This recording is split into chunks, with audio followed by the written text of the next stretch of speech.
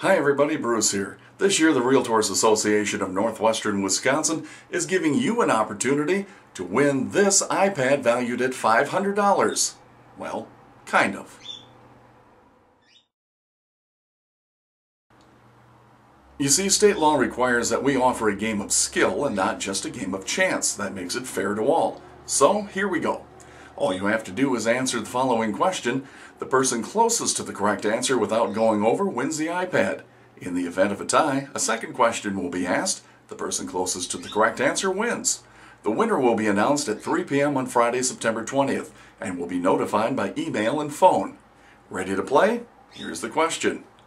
In 2012, how many realtors gave to RPAC in Wisconsin. Now that includes large donor council members and those who gave $35 on their dues billing statement. It excludes direct givers. We didn't say this was going to be easy and all money raised goes to RPAC.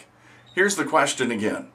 In 2012, how many realtors gave to RPAC in Wisconsin?